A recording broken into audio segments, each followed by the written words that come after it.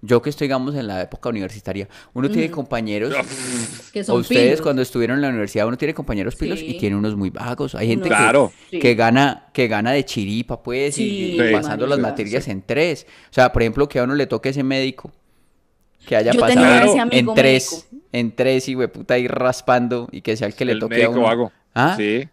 Les voy a contar esa historia. Es de la vida real. Tuve un conocido, un amigo médico, que eran gemelos y el otro hermano era comunicador social.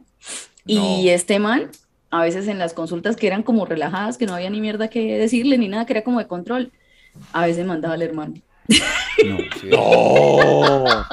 No, no, no, no, qué susto. Que busque en Google. Imagínate uno, uno diciéndole al médico ahí y- lo que tiene y él buscando en Google qué decirle. Pero qué chimba, decirle, no, esta señora normalmente tal, y los exámenes le salieron así, entonces dígale que tal cosa, y ya, una llamadita. Pero usted no se ha dado cuenta que ahorita los, esa, gente en los computadores escribe mucha vaina. Yo siempre he pensado que Sí, lo que yo creo que estar chateando. Yo creo que están buscando en Google.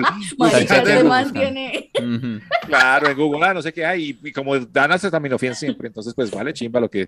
Lo que salga ahí en Google que dice. no diga, mira. sí, sí. ¿Este era el tema? ¿Este era el tema? No, no, no, es que no hemos, no hemos ni ¿Cómo saludado.